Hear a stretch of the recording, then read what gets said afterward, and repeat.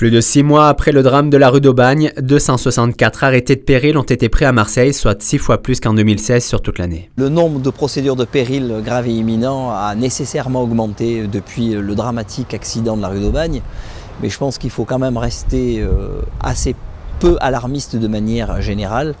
Il faut simplement avoir une vigilance accrue sur les signes qu'on peut constater à l'intérieur de l'habitat ancien, qui peuvent commencer par des infiltrations, des fissures, des affaissements de plancher qui peuvent être dus à des suppressions de cloisons.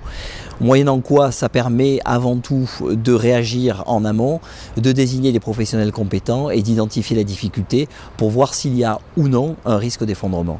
Ça permet de prémunir euh, l'immeuble de conséquences dramatiques et de protéger son investissement.